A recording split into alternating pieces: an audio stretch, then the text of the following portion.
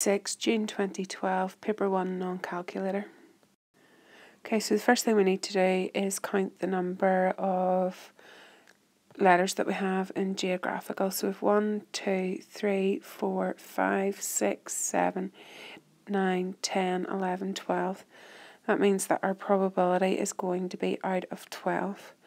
We're interested in the probability that the letter is not in the word graph. So I'm going to cross out all of the letters which are in the word graph and I'm left with 1, 2, 3, 4, 5 so that is 5 twelfths. To divide 72 sweets in the ratio 8 to 1, that tells us that one person is going to get 8 parts and the second person is going to get 1 part. So altogether that is 9 parts.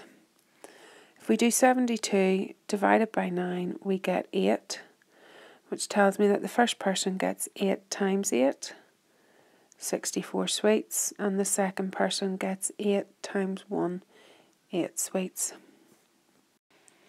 B part 1.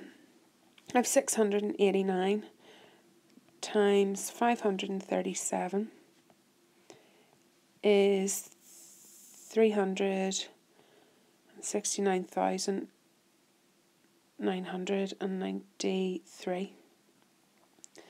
Now what we need to notice here is in part 1 I want to make this 100 times bigger.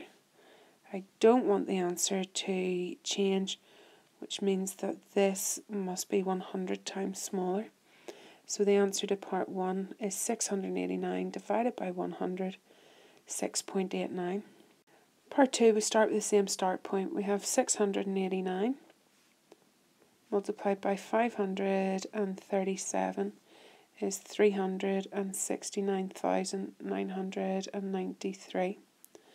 I want my answer to be 36.993, which means I have divided this answer by 10,000. But if we look over here, we've also manipulated this question. And we have also divided this by 10,000. That means the two sides are the same ratio, so we are left with 537 and we don't need to adjust. Remember the formula for area of a trapezium is on the formula sheet at the start of the examination paper. And the formula tells us to do a half Add together the parallel sides times the distance between. So that's a half times 20 times 5. A half of 20 is 10, so I'm left with 10 times 5, so that is 50 centimetres squared.